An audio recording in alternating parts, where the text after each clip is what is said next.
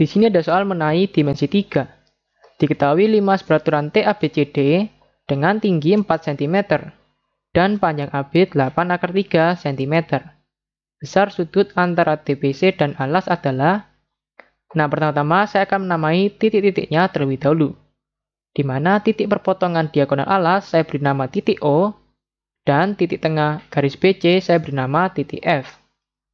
Lalu ingat, Suatu bidang itu dapat diwakili oleh suatu garis, dan biasanya segitiga akan diwakili oleh garis tingginya. Jadi di sini segitiga TBC akan diwakili oleh garis tingginya yaitu TF, dan bidang alas ABCD akan diwakili oleh garis FO. Jadi sini sudut antara TBC dengan bidang alas ABCD itu akan sama dengan sudut antara garis TF dengan FO. Yaitu di sini kita beri nama saja sudutnya sebagai alfa. Lalu, tingginya itu 4 cm. Nah, tinggi TO, jadi TO panjangnya 4.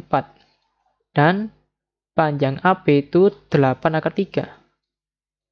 Nah, supaya lebih enak, kita gambar terpisah, di mana ini segitiga TOF, lalu alfanya di sini.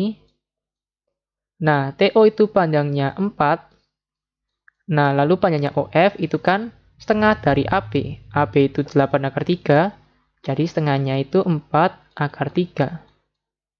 Lalu di sini kita diminta untuk mencari besar dari sudut alfa. Nah, yang diketahui kan depan dan samping.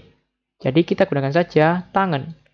Di mana tangan alfa itu depan per samping. Depannya TO, panjangnya 4, dan sampingnya itu OF, panjangnya 4 akar 3.